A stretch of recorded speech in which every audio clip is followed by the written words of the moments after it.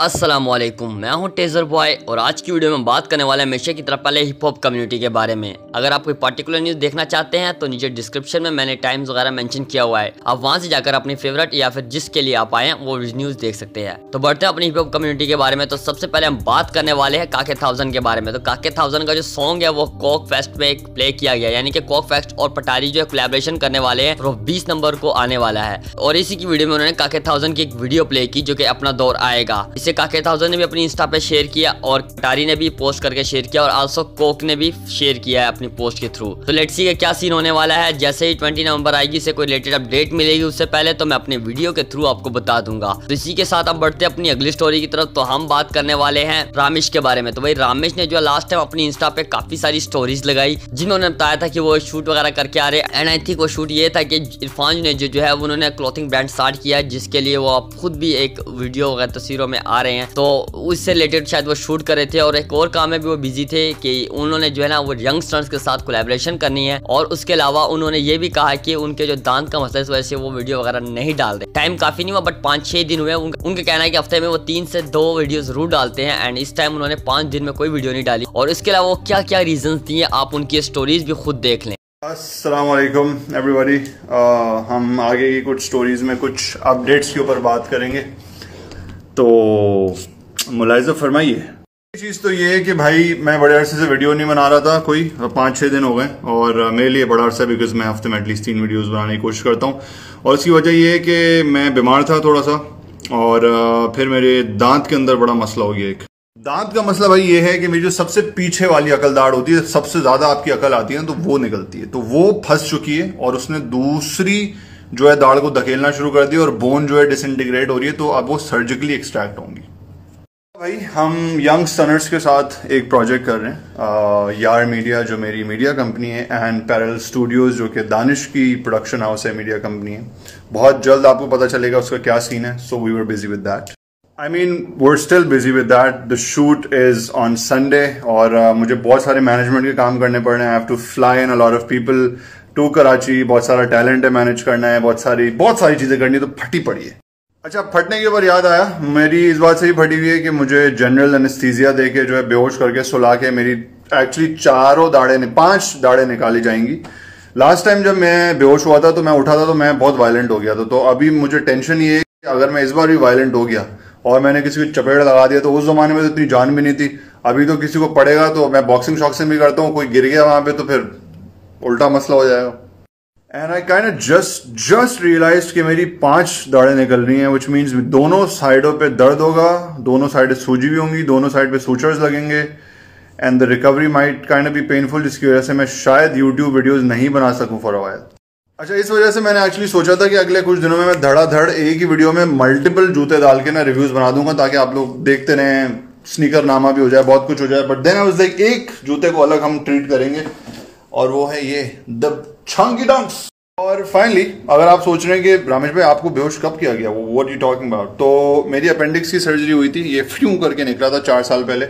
And obviously लंबी कहानी है, कभी बात करेंगे। बट बेहोशी से जब मैं उठा था आई वाज लाइक तो इसी के साथ हम बढ़ते हैं अपनी अगली स्टोरी की तरफ़। तो हम बात करने वाले हैं भाई गुरु लाहौर के बारे में। तो गुरु लाहौर से लास्ट टाइम क्वेने के दौरान किसी ने पूछा कि well is your song coming with Sama Black so उन्होंने रिप्लाई करके कहा go hit up Sama Black for date one so so, इनका सॉन्ग भी फाइनली आने वाला है समा ब्लेक के साथ लेट सी के कब तक आता है इससे रिलेटेड कोई अपडेट्स मिलेगी तो अपनी वीडियो के थ्रू आपको बता दूँगा। एंड ऑल्सो रिजीरू का भी न्यू सॉन्ग आने वाला है जिससे वो शेयर करते कहे कि भाई तेरा releasing next week with music video यानी कि इस बार जो है रिजीरू की वो वीडियो आने वाली है एंड वो सॉन्ग जो है वो म्यूज़िक वीडियो होगा और उसमें वो खुद वीडियो भी प्ले करेंगे। सो लेट सी कब तक ये भी आता है। तो चलिए हम बढ़ते हैं अपनी अगली स्टोरी की तरफ़ तो हम बात करने वाले हैं। तो हम बात करने सात म्यूज़िक के बारे में। तो सात ने जो है लास्ट में अपनी स्टोरी लगाई जिसमें उन्होंने कहा था कि fourth track from Kamil the step dropping this Saturday so उनका भी जो सॉन्ग है, वो इस सैटरडे को आएगा एंड उस सॉन्ग का नेम है हेट फ्रॉम कामिल एंड इस सॉन्ग का नेम उन्हें अपनी स्टोरी मेंशन करते हुए कहा कि hate from Kamil the mixtape dropping this Saturday 7 PM tried a different vibe this time so be ready set reminder link in bio so इनका song जो है, वो सैटरडे को आने वाला है, यानी कि कल आने वाला है और वो शाम सात बजे आएगा. सो अगर आप लोग उनके फ़ैन है, फिर उनके सॉन्ग सुनते हैं तो ज़रूर जाके सुनिए क्योंकि उनके सॉन्ग भी लेवल होते हैं.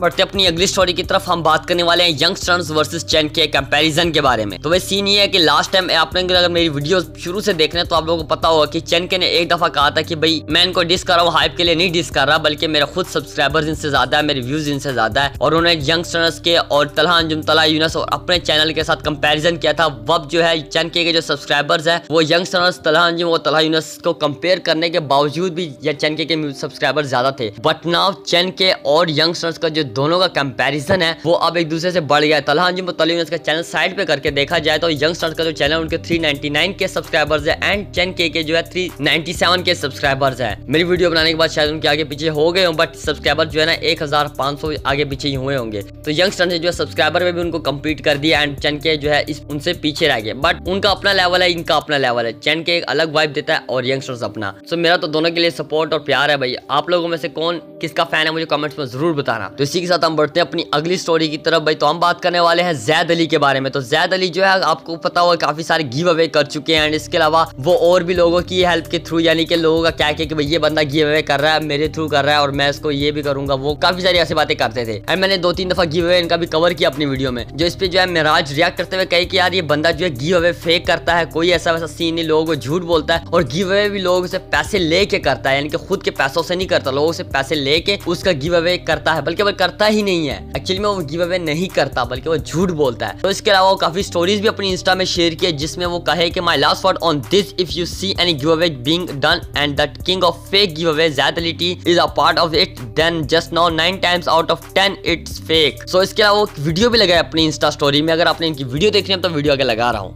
लोगों को इन्फॉर्म करना। अब आपकी मर्ज़ी है कि आपने मेरा यकीन करना है कि नहीं करना। मैं नहीं चाहता कि आप लोगों का किसी भी किस्म का नुकसान हो, या आप उस चीज़ में पार्टिसिपेट करें जो कि फेक है और रियल नहीं है। आगे आपकी मर्ज़ी। And let's say for example अगर इन्हें गेव वेस्ट करने भी थे फेक किस्म के, अगर ये अपने पैसों से कार्य होते ना तो मुझे कोई प्रॉब्लम ना होती।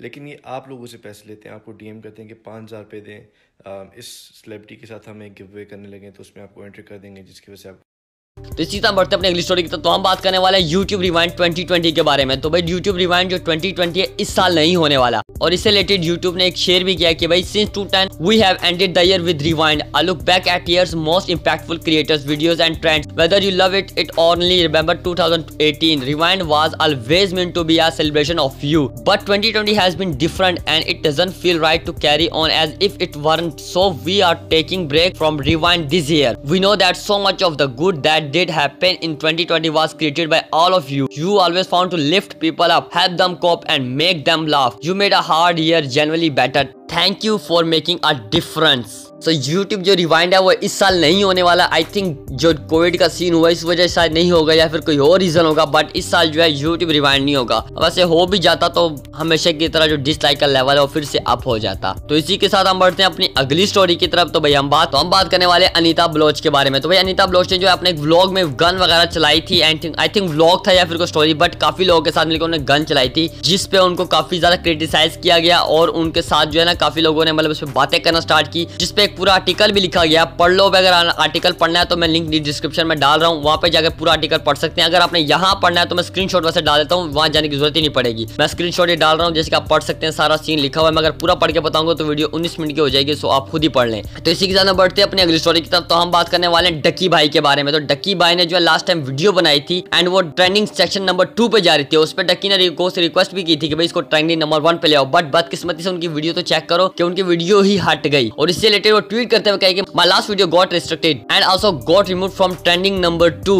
Babaji Sialkot. So आप लोगों ने अगर ये वीडियो देखी है तो आपको पता चल गया होगा कौन सी वीडियो, क्योंकि रिसेंट उनकी जो वीडियो थी, वो पाकिस्तानी एक लड़की है, जो कि हर टिकटॉक वीडियो में कहती है बाबाजी सियालकोट बाबाजी सियालकोट। ऐसे मुझे नाम तो नहीं पता साइलेंट गर्ल बस उसे कहते हैं, ये मुझे पता है। सो वो वाली वीडियो जो है, वो डकी बाई की रिस्ट्रिकेट कर दी गई है, और ट्रेनिंग सेक्शन से भी रिमूव कर दी गई है। तो इसी के साथ आप बढ़ते हैं अपनी अगली स्टोरी की तरफ़ तो हम बात करने वाले शारम की स्केच बुक के बारे में। तो शारम की स्केच बुक ने जो लास्ट में अपनी इंस्टा पर स्टोरी लगाई, जिसमें उन्होंने एक सैड न्यूज़ शेयर किया, और उन्होंने इसमें कहा कि my beloved टाया more of a father to me passed away fight COVID. He made a huge part of what I am today. Please recite Surah Fatiha and pray for his दर्जात। So अल्लाह ताला उनको जन्नत नसीब फरमाए और उनके दर्जात को बुलंद करे और अल्लाह ताला इनकी फैमिली को सबर दे। आमीन। और सूरत फातिहा आप भी डिसाइड कर लेना, मैंने ऑलरेडी डिसाइड कर ली है। तो इसी के साथ हम बढ़ते हैं अपनी अगली स्टोरी तक तो हम बात करने वाले बोला रिकॉर्ड के बारे में। तो भाई, बोला रिकॉर्ड ने जो है अपने टिकटॉक अकाउंट जो पहला था, वो बैन हो चुका था एंड नाउ उन्होंने सेकंड अकाउंट बनाया। जिसके फोर्टी के प्लस फॉलोअर्स हो चुके हैं। एंड ऑल्सो बोला रिकॉर्ड का एक सॉन्ग भी आने वाला है, जिसके बारे में वो वीडियो भी शेयर की। लेट्स सी इनका सॉन्ग कैसे होने वाला अब और से रिलेटेड वो क्या अपडेट्स दिए, आप उनकी वीडियो भी खुद देख लें। ਭੋਲਾ ਜੀ ਇਹ ਕੀ ਕਰਦੇ ਹੋ ਪੇ ਉਹ ਹੁਣ ਦੱਸ। ਇਹ ਕੀ ਹੋਇਆ? ਗਾਣਾ ਦਾ ਨਾਂ ਹੈ। ਅੱਛਾ ਗਾਣੇ ਦਾ ਨਾਮ ਹੈ ਨਵਾਂ ਗਾਣਾ ਆ ਰਿਹਾ? ਨਵਾਂ ਗਾਣਾ ਆ ਰਿਹਾ। ਹੈ ਹਾਏ। ਮੈਨੂੰ ਇੰਨਾ ਪਿਆਰ ਦਿੱਤਾ। ਹੈ ਮੈਨੂੰ ਨੀਂਦਰ ਨਹੀਂ ਆਈ ਮੈਂ ਫੇਰ ਨਵਾਂ ਗਾਣਾ ਲੈ ਹੁਣ ਦੱਸ आए चलिए गए अपनी अगली स्टोरी की तरफ बढ़ते हैं तो भाई हम बात करने वाले हैं गेमिंग कम्युनिटी के बारे में तो गेमिंग कम्युनिटी के लिए गुड न्यूज है अगर आप रेनबो सिक्स एज देखते हैं तो भाई उसका सीजन फोर आने वाला है एंड उसका सीजन फोर जो है वो जल्दी आने वाला है दिसंबर में ये रिलीज होगा जिसके बारे में एक पूरा आर्टिकल भी मैं आपको दिखा देता हूँ स्क्रीन में आप पढ़ सकते हैं कि क्या सीन होने वाला है एंड कब आएगा सो आप वीडियो पॉज करके पूरा आर्टिकल पढ़ सकते हैं मैंने पूरा आर्टिकल का स्क्रीन ले लिया है आपको किसी जगह या लिंक जाने की जरूरत ही नहीं पड़ेगी एंड ये जो है चौथे साल में पांचवा सीज़न इसका आ रहा है और ये दिसंबर में इंशाल्लाह रिलीज़ होगा अगर आप में इसको इसका फ़ैन या फिर कोई ये खेलता है तो भाई वो ज़रूर ही फिर इसके लिए एक्साइटेड होगा। अब big shout out to Shaiz T आप उनके चैनल को जाकर ज़रूर फॉलो कीजिएगा, वो पबजी वीडियोस वगैरह खेलते हैं एंड आई थिंक वो मीम्स भी बनाते हैं। उनके चैनल को ज़रूर सब्सक्राइब किएगा मैं लिंक डिस्क्रिप्शन में डाल रहा हूँ। Big shout out to mister Nomi भाई, जिसने मेरे भाई ने मेरी हेल्प की है, वो भी एक अच्छे आर्टिस्ट है, वो भी रैप वगैरह लिखते हैं। तो उनके चैनल को मैं लिंक डिस्क्रिप्शन में डाल रहा हूँ, उनको भी जाकर ज़रूर फॉलो कीजिएगा। मिलते हैं नेक्स्ट वीडियो में, ख्याल रखना अपना टी नेक्स्ट वीडियो अपना ओपिनियन और जो ख्याल है, वो अपने कमेंट सेक्शन में ज़रूर बताना। और कोई अपडेट्स और इसी तरह होगी तो मुझे ज़रूर बताना। मैं वीडियो में डिस्क्रिप्शन में उसको क्रेडिट्स भी दूँगा न्यूज़ आने वाले को। और मिलते हैं नेक्स्ट वीडियो में, ख्याल रखना अपना टी नेक्स्ट अब तक अपने भाई को इजाज़त दें। Love is love you all thank you so much for your love and support bye take care